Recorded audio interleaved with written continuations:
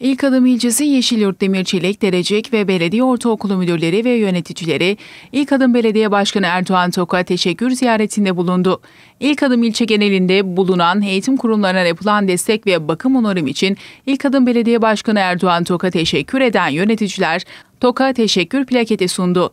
İlk adım ilçe genelinde bulunan eğitim kurumlarına dört koldan çalışmalar gerçekleştirdiklerini belirten İlk Adım Belediye Başkanı Erdoğan Tok, İlk Adım Belediyesi olarak göreve geldiğimiz ilk günden bugüne kadar Bölgemizde bulunan eğitim kurumlarımızı yakından inceliyoruz. Gereken her türlü desteği sağlamak için eğitim kurumlarımızın yöneticilerine kapımız sonuna kadar açık. Samsun'da en çok eğitim kurum bulunan ilçe ilk adımdır dedi.